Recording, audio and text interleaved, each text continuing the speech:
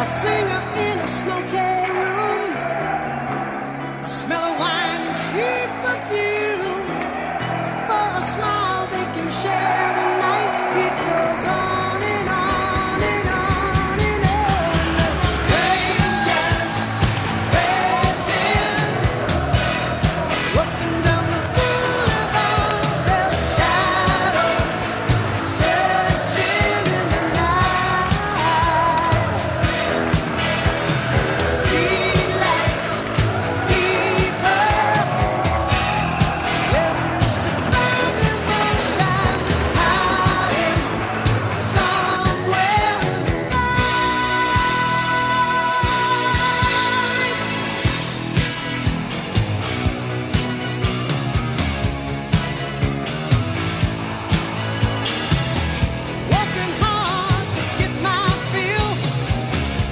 har kontakt, så går vi tilbake igjen med lavt midtsonen og vinner.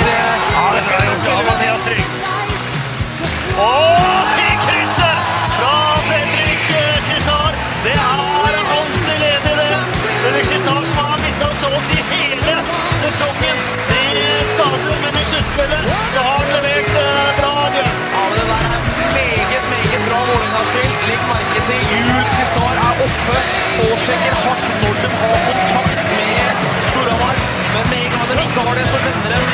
Står med fire mann tett. Vinner pucken innafor blålinja. Mathias Trygg setter fart. Cæsar stiller seg opp, klar for skudd, og bare smeller til den pucken. Og antagelig avgjør eh, denne tredje semifinalen til Vålerengas eh, fordel. Meget bra bytt av eh, denne gjengen. Johansen får ikke opp snappen engang der. Her står klar, setter ned det ene kneet for å få